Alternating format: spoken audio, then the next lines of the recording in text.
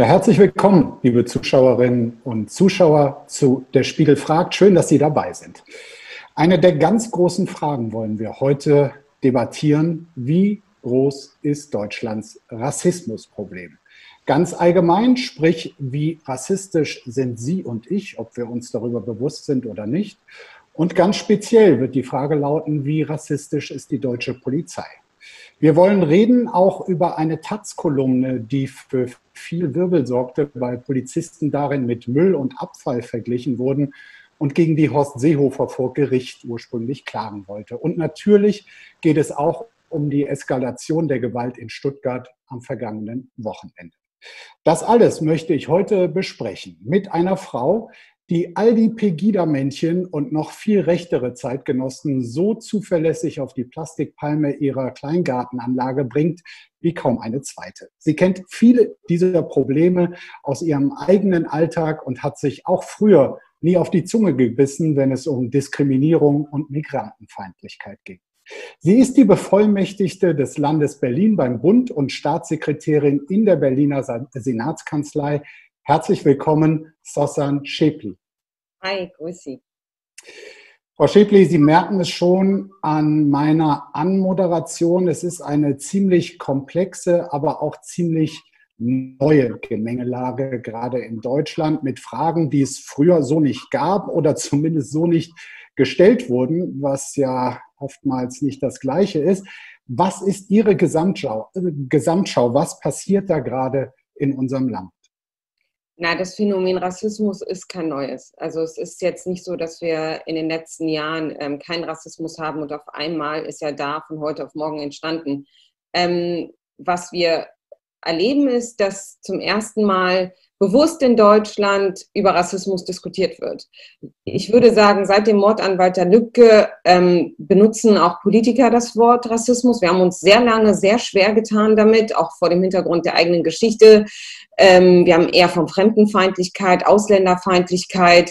Sie haben gerade Migrantenfeindlichkeit gesprochen, das kannte ich noch gar nicht. Ähm, aber äh, jetzt reden wir offen über ein Problem, was wir in Deutschland haben. Ich würde sagen, auch ein ekliges Problem ähm, alltäglicher Rassismus, den viele Menschen erleben, ähm, schwarze Communities, ähm, POCs, ähm, Migranten, äh, Muslime, bei den Juden nennen wir es eher Antisemitismus.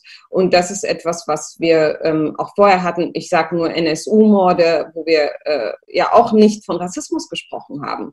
Und ähm, seit dem Mord von, an Walter Lübcke ist hier ein Umdenken ähm, passiert, ein Weckruf in der Gesellschaft und auch in der Politik. Wir reden darüber, wir sagen ganz klar, wir haben ein Rassismusproblem in Deutschland. Mhm.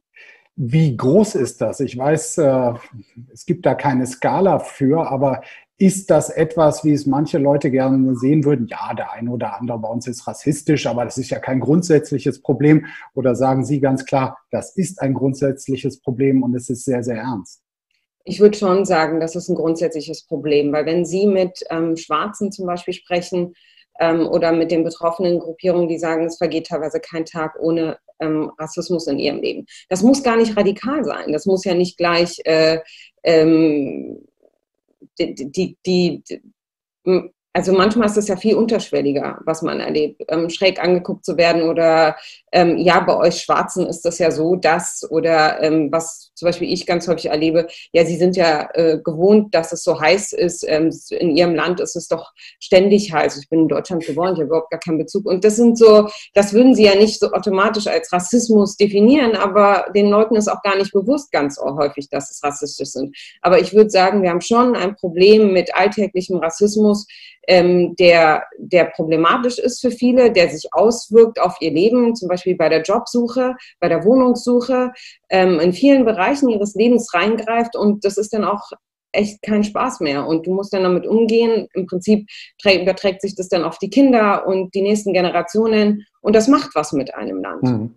Wo erleben Sie in Ihrem Alltag Rassismus und wenn ja, in welcher Form?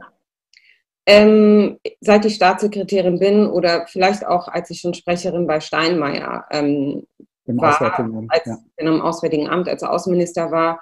Ähm, ich sage, je sichtbarer ich wurde, desto offener habe ich Rassismus erlebt. Also bei mir vermischt sich das aber auch mit antimuslimischem Rassismus, weil ich ja ähm, Muslima bin. Ähm, und, und äh, mit ganz vielen verschiedenen ähm, Phänomenen, Rassismus, Sexismus, antimuslimischen Rassismus. Das kommt dann alles zusammen, wenn, äh, wenn mir gesagt wird, ja, ich will, eigentlich ist es nicht gut, wenn man die Beispiele gibt, ehrlich gesagt. Aber die Zuschriften, die ich bekomme, ähm, sind so ekelhaft, dass ich ja auch immer wieder Strafanzeige stellen muss ähm, und manches ja auch äh, gewinne. Hm. Wo würden Sie denn sagen, kann ich als weißer Mann, der sich was Diskriminierung von Minderheiten betrifft, für durchaus sensibel selbst hält? Ja, das ist nur ein Urteil über mich selbst. Wie objektiv das ist, müssen dann andere sagen. Wo kann ich da quasi gar keine objektive Sicht haben, wenn es um Rassismus geht, weil ich nun mal nicht betroffen bin? Ähm, ich weiß gar nicht, ob ich das so sagen würde. Äh, ich gehöre nicht zu denjenigen, die sagen, Weiße können gar nicht so so klar über Rassismus sprechen, das können eigentlich nur Betroffene. Ähm, sie haben vielleicht eine ganz andere Sicht drauf und Sie bringen ganz andere Einblicke in die ganze Debatte. Ich finde es total wichtig, dass wir hier, und das erleben wir zum ersten Mal, dass wir hier Allianzen bilden. Also bisher war das so, Rassismus, das ist nur eine Sache, die Schwarze angeht oder Migranten oder die Betroffenen. Und zum ersten Mal ähm, gehen auch nicht nur Linke auf die Straße, sondern es gehen die, die ganze Gesellschaft geht auf die Straße, weil sie merkt, hey, das geht uns alle an. Und das, was da erodiert, ist etwas, was auch in meinem Leben eine Rolle spielt. Und ich finde das total wichtig. Ich sage, ich habe immer gesagt, wenn wir eine Chance haben wollen, Rassismus zu bekämpfen, dann geht es nur, wenn wir Allianzen bilden. Weiße, schwarze, ähm, POCs mit, ähm, mit der äh, Schwulen- und Lesben-Community und, und viele, viele mehr, wenn wir da gemeinsam an einen Strang ziehen und die Zivilgesellschaft irgendwie da auch mitmacht und erkennt, ey, das reicht nicht, wenn Frau Schäbi jetzt äh, den Rassismus bekämpft oder der Schwarze und sie das Sprachrohr ist, sondern ich finde es total, ich fände auch zum Beispiel okay, wenn ein weißer Mann oder eine weiße Frau ähm, Rassismusbeauftragte würde. Ich finde das, ich, es gibt da total, es ist total stritt, umstritten, ne? in meiner Community oder in der Peer, äh, Peer, äh, das sehen viele dort anders. Sehen viele total anders, ich weiß das. Ähm, aber ich finde, ich habe noch kein ähm, so überzeugendes Argument zu sagen, natürlich habe ich eine andere Sensibilität, ich blicke anders, ich bin betroffen. Ja, Sie werden niemals nachempfinden, was ich empfinde, wenn ich Rassismus erlebe oder wenn Schwarze Rassismus erleben. Aber ähm, trotzdem können Sie empathisch sein und trotzdem können Sie strukturellen Rassismus bekämpfen. Und wie gesagt, das geht auch nur über Allianzen. Mhm. Wir haben eine interessante Frage bekommen von unserem Zuschauer Andreas Goldbrunner, der wissen möchte, wie behält man den Glauben an den Rechtsstaat, Frau Schäbli, wenn man ein, wenn ein Tim Kellner wegen der Beleidigung freigesprochen wird. Also Tim Kellner ist ein Mann, der sie äh, übel rassistisch äh, beleidigt hat äh, auf YouTube-Videos und dafür neulich freigesprochen wurde und dieser auch noch auf widerliche Art und Weise damit herumprahlt. Also die Frage an Sie, wie behält man da den Glauben an den Rechtsstaat? In dem Moment habe ich ja, als denn das Urteil gesprochen wurde, habe ich ja auch gesagt, das ist ein Armutszeugnis für den Rechtsstaat, weil das natürlich ähm, die Leute triggert, die der Meinung sind, wir können ja eh alles sagen und der Rechtsstaat ähm, geht dem nicht nach. Das ist, das ist wirklich gefährlich. Äh, das, es geht ja nicht nur um mich, sondern es geht um ganz viele, die da betroffen sind und sich an die Gerichte wenden, ähm, äh, Anzeigen erstatten und die meisten Anzeigen auch bei mir vielleicht 95 Prozent ähm, äh, gewinne ich ja nicht, sondern äh, dann heißt es, der Täter ist nicht ermittelbar oder und dann bei Tim Kellner war das auch noch so, dass ich äh, einen, finde ich, sehr klaren Fall verloren habe. Ähm, ja, ich glaube, es ist trotzdem wichtig, dass wir den Glauben an den Rechtsstaat nicht verlieren. Weil ich glaube, in Deutschland haben wir schon einen starken Rechtsstaat. Also wir, mhm. wenn ich so anschaue, was sonst so auf der Welt passiert, ähm, wenn ich mir äh, die Region anschaue, woher meine Eltern kommen, ja, nah Mittlerer Osten, ähm, das ist, das ist hochproblematisch. Da haben wir null Rechtsstaat. Da ist, äh, wenn ich auf der Straße bin, da weiß ich nicht, äh, ob ich im nächsten Moment im Gefängnis sitze.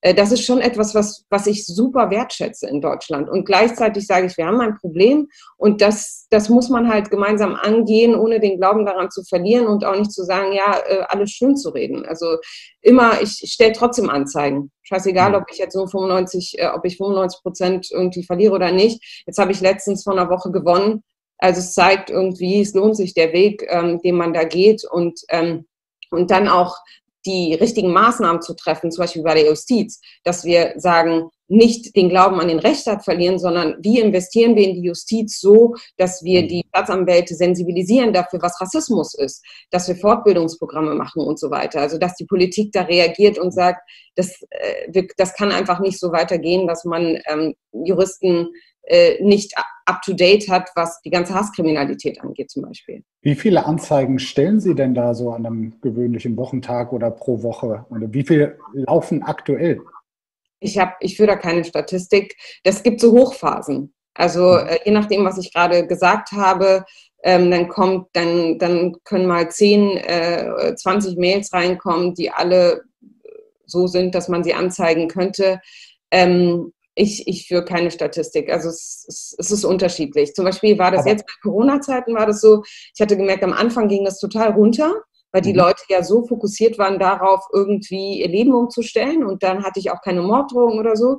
Und dann aber, als es wieder anfing mit, mit diesem ganzen Hetzen gegen Minderheiten und Verschwörungstheorien, da ist es bei mir wieder steil nach oben gegangen, da gingen dann schon wieder die ersten Morddrohungen ein. Also mhm. es ist so, es ist ein Up and Down.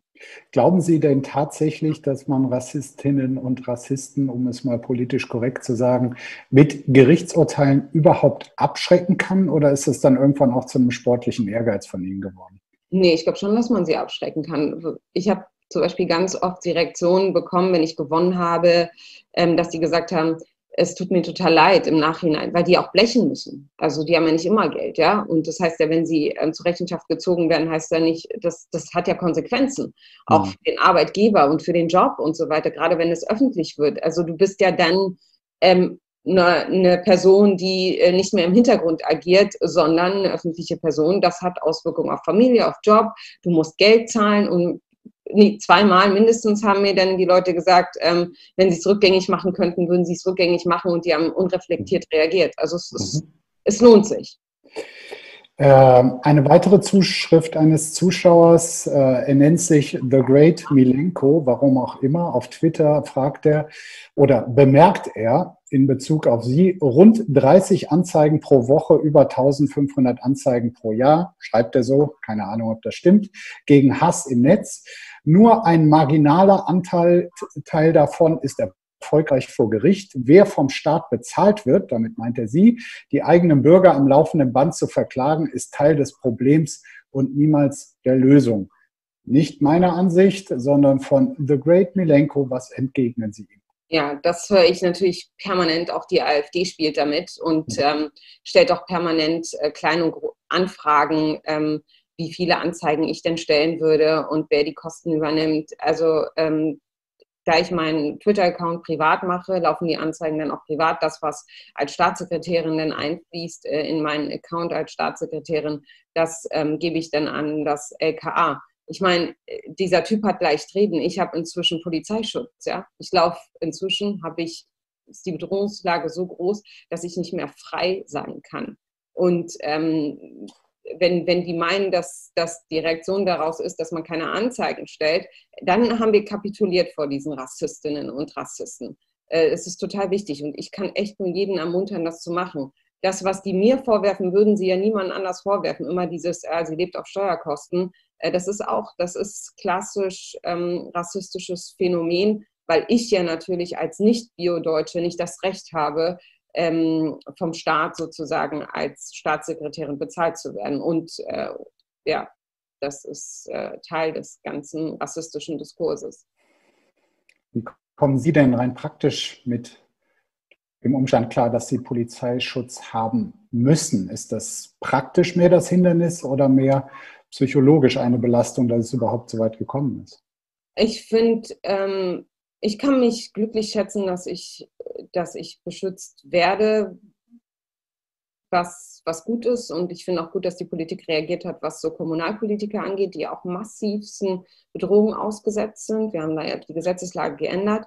Ähm, ehrlich gesagt macht man sich eher einen Kopf um die Familie. Also ich selbst gehe da relativ entspannt mit um. Es ist, gehört dazu jetzt irgendwie. Äh, mir ist das eher unangenehm, aber ähm, ich denke dann im zweiten Moment immer, äh, dass die Familie im Hintergrund, ja, das ist ja auch das, warum Kommunalpolitiker sagen, ich, ich könnte es machen, aber wegen meiner Familie ziehe ich, ähm, zieh ich den Kürzeren und ziehe mich aus der Politik zurück. Aber das dürfen wir eben nicht. Ne? Ich könnte ja jetzt auch sagen, so, deswegen kämpfen wir nicht mehr dagegen und mache dann auch solche Interviews nicht, weil ich weiß jetzt, danach kommt natürlich die, kommt wieder ein Sturm, aber äh, keine Option, ja. Sonst können wir alle einpacken. Frau Schäbli, für all die, die noch nicht alles über Sie wissen, ähm, wollen wir mal ganz kurz gemeinsam Ihren Lebenslauf, die wichtigsten Stationen äh, durchgehen. Äh, wirklich interessante Biografie. Ähm, nur kleiner Hinweis, wir haben zwei, drei Fehlerchen eingebaut. Deshalb hören Sie genau zu, wenn ich vortrage. Und wenn Sie diese Fehler erkannt haben, stoppen Sie mich bitte sofort.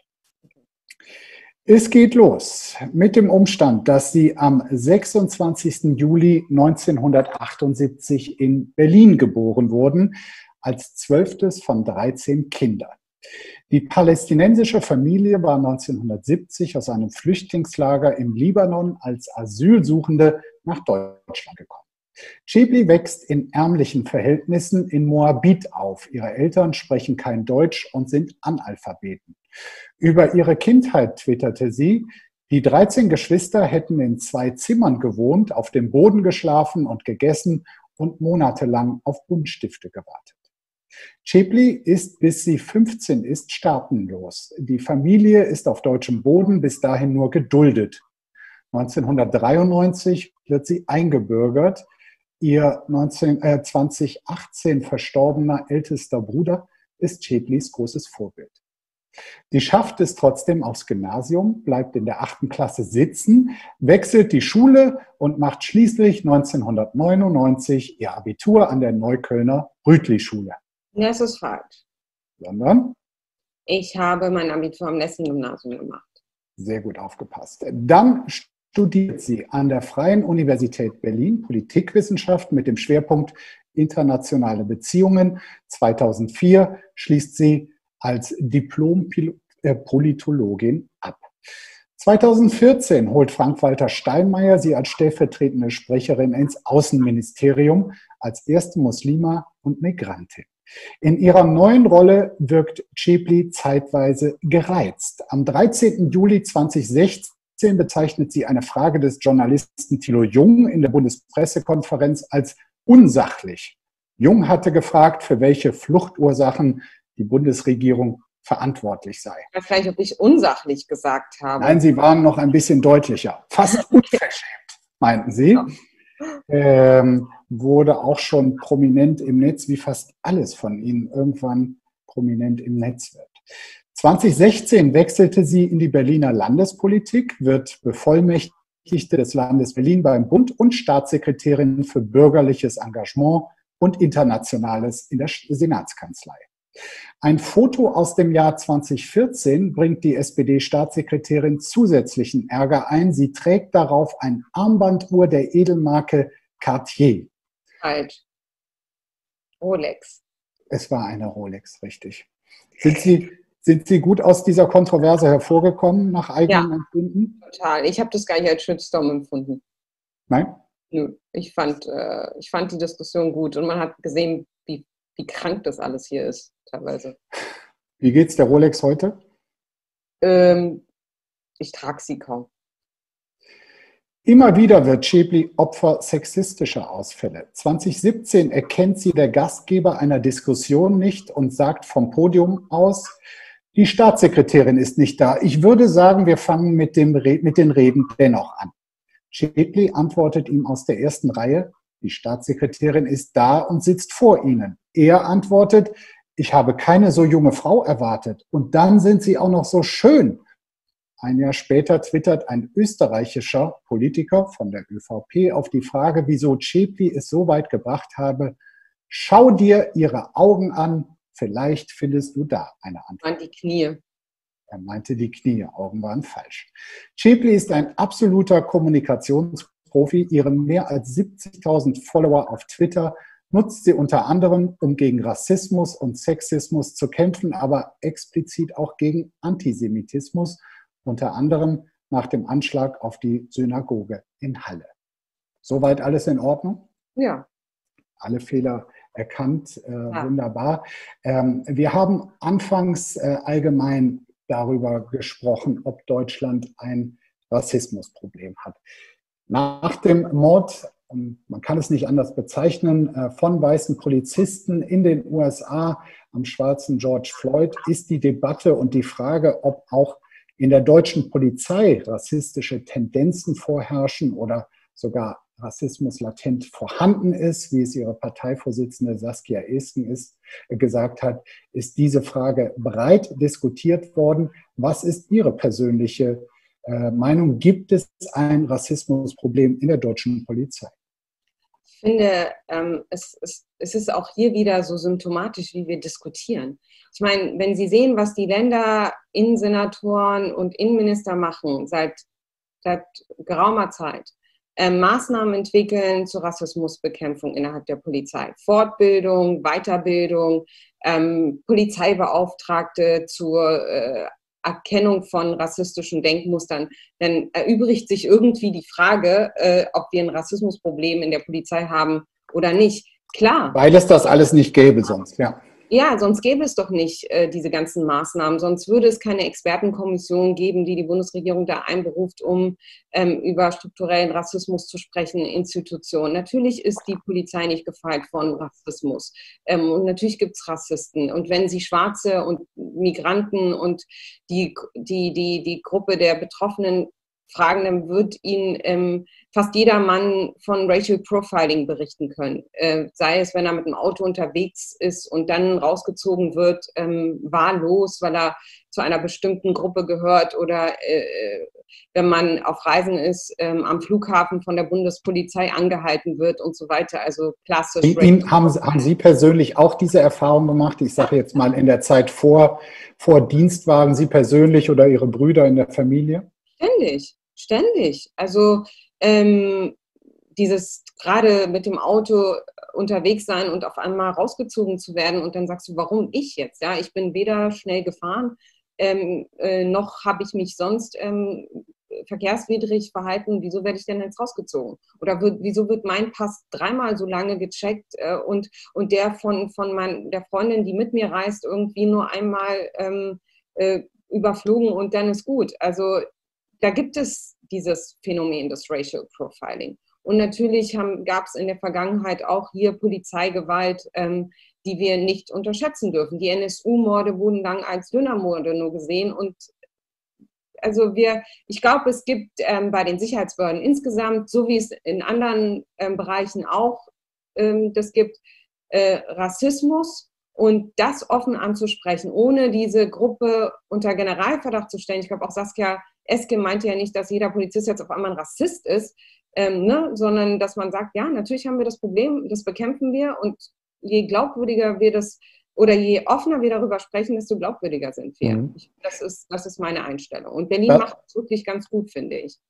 Da Sie Ihre Parteivorsitzende ansprechen, nochmal nachgefragt, Ihre konkrete Idee, eine unabhängige Stelle zu schaffen, von der potenzieller Rassismus in der Polizei untersucht wird. Halten Sie das für sinnvoll?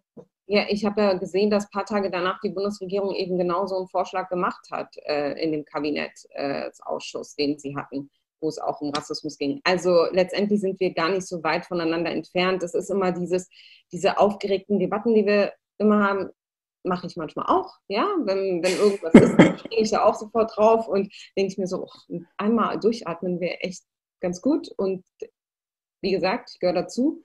Äh, und das war bei Saskia Esken auch so. Ich, natürlich hätte ich jetzt ein bisschen anders formuliert, ähm, aber manchmal sagst du halt so Sachen und, äh, und merkst im Nachhinein, ja, ich glaube, es war ein Fehler. Insgesamt mhm. ähm, hat sie ein Problem angesprochen. Ich sehe das Problem auch. Ähm, unser Innensenator sieht es auch und trifft da Maßnahmen und andere Landesminister, äh, Innenminister auch. Also von mhm. daher, wir sind, glaube ich, da auch auf einem guten Weg insgesamt. Sie haben, ähm, das hatte hm, in der Vorbereitung der Sendung ist mir das aufgefallen, vor nicht allzu langer Zeit mal getweetet, dass äh, wir, also wir als Gesellschaft, die dritte und vierte Generation der Migranten verloren hätten. Ähm, da mal nachgefragt, woran zeigt sich das für Sie und warum geht es der dritten und vierten Generation gerade anders als noch der ersten oder zweiten Generation? Ja, wissen Sie, ähm, ich gehöre der zweiten Generation an. Ich habe mhm. noch gekämpft, um es dazu zu gehören.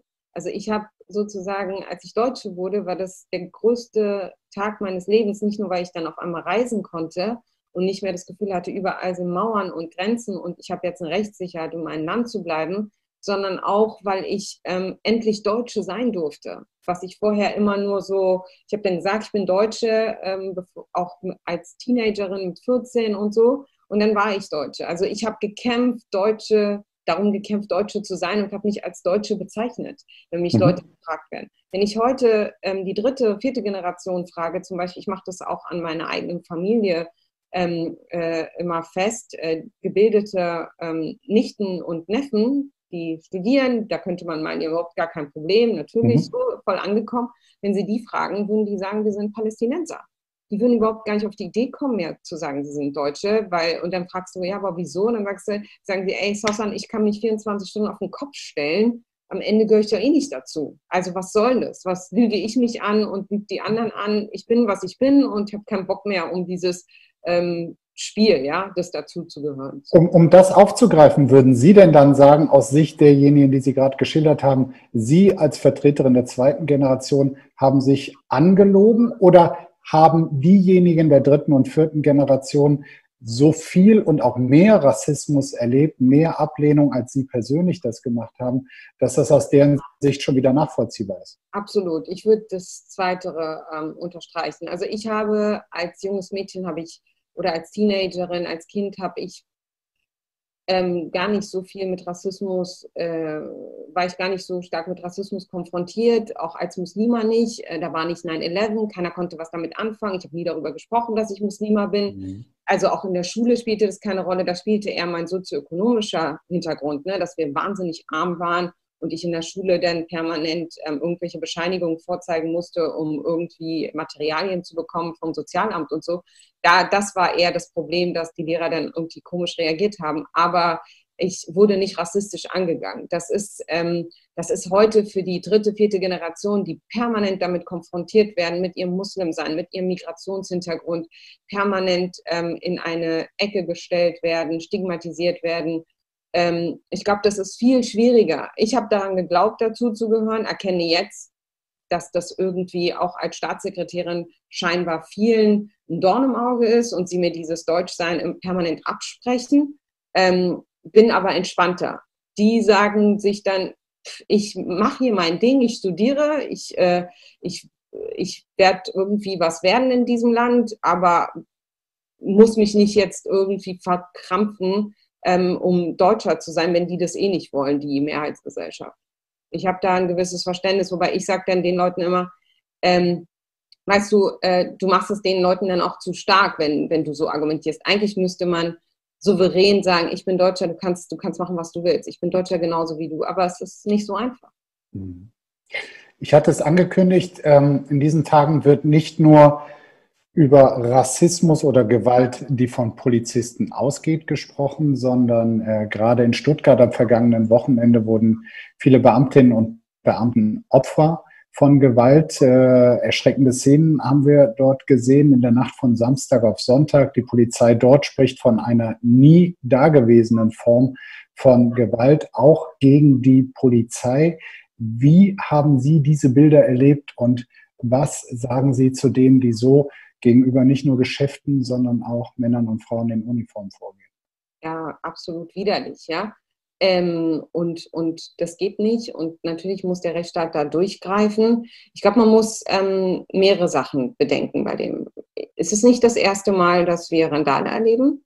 Ähm, ich finde, wir erleben seit einer geraumen Zeit eine Verrohung, eine Enthemmung der Sprache, der Taten.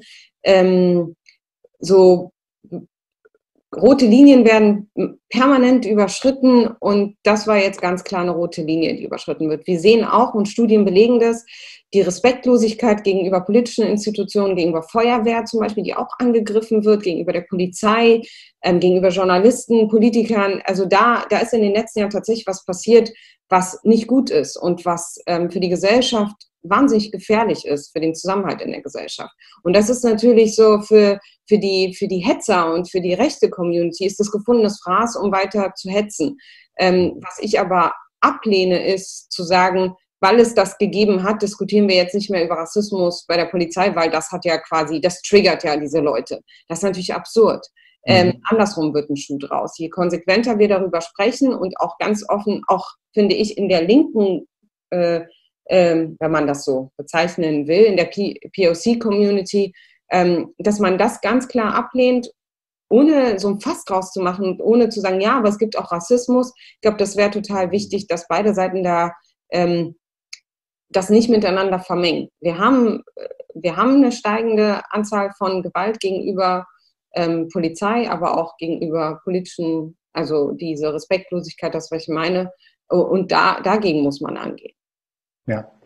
Äh, Sie haben selbst gesagt, äh, Verrohung der Sprache ähm, hat zugenommen und wann immer es um Vertreter der AfD und äh, Anschläge auf Migrantinnen und Migranten in Deutschland geht, äh, dann machen Menschen wie ich, aber viele andere auch äh, aus meiner Sicht zu Recht den Zusammenhang auf. Hier wurde äh, rhetorisch gezündelt, hier verrohte die Sprache und das zieht in der Konsequenz äh, möglicherweise auch Taten nach sich. Muss man da nicht genauso konsequent sein, wenn jetzt in diesen Tagen über eine sehr verunglückte Kolumne in der Taz von einer Autorin auch mit Migrationshintergrund ähm, äh, gesprochen wird, die ähm, zwar in einem Gedankenspiel, aber letztlich Polizisten ähm, mit Leuten vergleicht, die sich auf den Müll äh, am wohlsten fühlen, äh, weil sie dorthin ähm, gehören. Muss man quasi als fortschrittlich denkender, aufgeklärter, äh, auch Linker nicht sagen,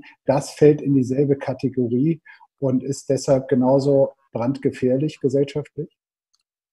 Ich gehöre ja zu denjenigen, die das alles nicht so witzig finden. Also ähm, ich, ich finde, ich fand auch zum Beispiel den Kinderchor mit den Omas fand ich jetzt auch nicht so witzig, ich, weil ich mir mhm. denke, warum? Ja, warum müssen wir sprachlich so aufrüsten alle miteinander? Ähm, ich glaube, das führt nicht weiter. Was ich aber auch gefährlich finde, ist das, was jetzt ähm, mit der Journalistin passiert. Ich meine, ich glaube, es ist ein legitimes ähm, Stilmittel, was sie gewählt hat. Nicht meins, nicht ihrs. Ich würde so nicht schreiben, aber das ist Geschmackssache, darüber kann man sich streiten. Mhm. Ich finde, wir müssen garantieren, dass sie sicher ist, dass sie nicht angegriffen wird, ähm, dass sie nicht den Hetzern sozusagen zum, äh, zum, wie sagt man, zum Fraß, zum Fraß vorgeworfen, ja. vor, vorgeworfen wird. Das ist total wichtig, dass sie unsere volle Solidarität hat. Ähm, ich glaube, das ist auch in so einem Diskurs ganz wichtig, dass wir hier nicht vermengen und sagen, okay, jetzt hat sie da so, so eine Kolumne geschrieben, die ich geschmacklos finde. Ja. Ähm, und, und deswegen äh, ist das ein qualitativ das Gleiche, was wir auf der rechten Seite erleben. Nein, ist es nicht. Äh, es ist deutlich nicht äh, das Gleiche. Und ich würde es auch nie miteinander vergleichen.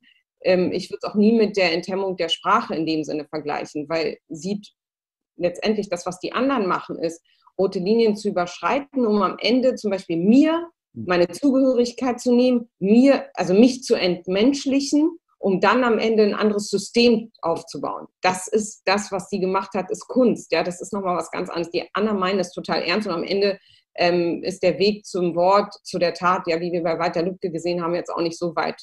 Und das sehe ich bei ihr nicht so. Ja. Deswegen Ganz egal, wie geschmacklos man diese Kolumne fand, besonders drüber war äh, erneut Bundesinnenminister äh, Horst Seehofer, der zumindest gestern noch davon überzeugt war, juristisch dagegen vorzugehen. Nun ist es jedem Polizisten persönlich unbenommen, ähm, äh, juristisch gegen etwas vorzugehen, was ihm nicht passt, was äh, man vielleicht auch als beleidigend findet. Wenn es allerdings ein Bundesinnenminister mit der ganzen Kraft und Power dieses Amtes macht, hat das natürlich schon was Einschüchterndes. Und da fragt man sich, ob er ähm, quasi die Pressefreiheit äh, tatsächlich so tief in seinem Innern akzeptiert hat. Ja, No-Go, was er gemacht hat. Und wir sehen ja auch, dass es, dass es so leicht scheinbar nicht ist. Also der, es war so ein so ein Schnellschuss, wie wir ihn ja bei ihm häufig ähm, sehen und kennen und rudert dann immer wieder zurück. Ähm, ich, deswegen ist jetzt Seehofer kein Rassist für mich. Oder ich oder kein Nicht-Demokrat, aber einfach, ähm, das sind, das ist das, was ich sage, wenn Politik auch nicht Verantwortung übernimmt für das, was sie sagen und machen und tun und, ähm, und dann mit dazu beitragen, dass Gesellschaft auseinanderdriftet und, äh, und damit auch zündeln und Nährstoff bieten für, für, für das, was wir erleben. Wir hatten uns auf eine gute halbe Stunde Gespräch verabredet, Frau Schäpli. Am Ende habe ich jetzt äh, nur noch eine sehr beliebte Rubrik hier für Sie im Angebot. Ähm, die sinnvollen, möglichst sinnvollen Satzergänzungen oder wie wir hier in der Redaktion sagen, die sauren Drops. Ich beginne ein paar Sätze und Sie müssen sie ganz einfach fortführen. Der erste äh, ist furchtbar leicht. Äh, wenn ich jetzt Philipp Amthor wäre? Würde ich ähm, alle Ämter abgeben und ähm, mit Würde sozusagen aus dieser ganzen Affäre mich zurückziehen. Bei meinem letzten Gespräch mit meinem Berliner SPD-Parteikollegen Tilo Sarrazin ging es um? Ähm, er hat mich in seinem Buch so erwähnt und sagt, sagte, ich wäre eine der Sozialdemokratinnen, die den Islamismus in der SPD ähm, äh, forcieren oder irgend, ich weiß, ich habe das Wording nicht mehr da und darüber haben wir uns unterhalten. Ich habe ihm dann gesagt, dass ich das zum Kotzen finde, ähm, wie er wie er da schreibt und, und ich auch nicht denke, dass, das, äh, dass er zur, zur, zur SPD gehört und ähm, für einen Ausschluss bin. Und da hatten wir einen sehr interessanten Austausch. Wenn ich Berliner Innensenatorin wäre, würde ich das Treiben der libanesischen Clans einschränken, indem ich ich würde es genauso machen, wie Andreas Geisel das macht. Der Innensenator macht es echt gut, der macht es mit Konsequenz und, ähm, und ich glaube, da ist auch in den letzten Monaten ziemlich viel passiert in Berlin und dieses Berlin-Bashing und das Gucken auf die Clans, äh, da ist jemand, der durchgreift. Ich finde es gut, ich würde es so machen wie er. Wenn ich mal richtig krass sauer bin, dann? Dann ähm, sollte es keine Kamera geben. Das Mäßigungsgebot für öffentliche Aussagen von Beamten halte ich für richtig. Wenn ich ein einziges soziales Netzwerk auf eine einzelne Insel mitnehmen würde, wäre das? Ähm, nee, ich weiß nicht, ob ich irgendeins mitnehmen würde. Aber wenn Sie fragen, also es ist Twitter, es ist ja das einzige soziale Netzwerk, das ich nutze. Ich habe als Mitglied der Berliner SPD bessere Chancen auf ein Bundestagsmandat bei der nächsten Wahl als Kevin Kühnert oder Björn Böning, weil? Ähm, ich hoffe, dass die besten Köpfe der Berliner SPD in den Bundestag kommen und dazu gehört auf jeden Fall Kevin Kühnert. Kevin Kühnert gehört dazu. Ähm, werden Sie denn auch dazu gehören? Ähm, ich habe immer gesagt, ich bin in die Politik gegangen, um zu verändern. Und ähm, ich würde mir wünschen, dass äh, ich äh, weiter diesen Weg gehen kann und weiter gestalten kann. Und ähm, ob das im Bundestag ist, woanders, aber auf jeden Fall in der einer Position bin, wo ich Politik tatsächlich machen kann. Und ähm, schauen wir mal, was die nächsten Monate so mit sich bringen. Haben Sie denn das leise Gefühl, dass man im Bundestag eventuell noch mehr verändern oder verbessern kann als als Staatssekretärin im Berliner Senat? Ich habe ziemlich viel aus, meinem, aus meiner Funktion gemacht als Staatssekretärin und ich, man kann auch gestalten als Staatssekretärin. Das ist, ist das ist gut, ich bin total glücklich.